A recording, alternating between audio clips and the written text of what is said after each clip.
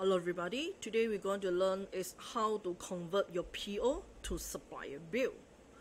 So when I go to purchase, I go to enter purchase and click order, select my supplier.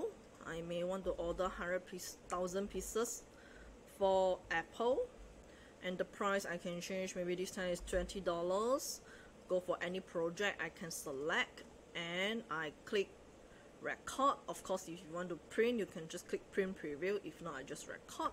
And once I receive this PO okay I will able to go to purchase purchase registered under order select my PO and click change to bill.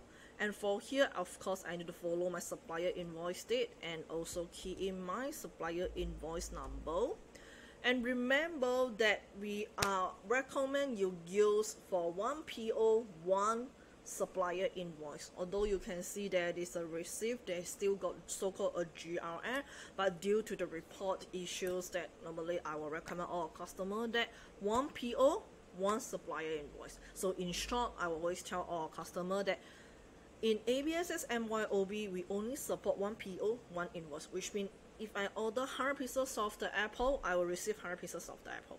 I order 1000, I will receive 1000. If let's say it got partial shipment issue, you may contact us to understand more how to do for partial. Okay, thank you.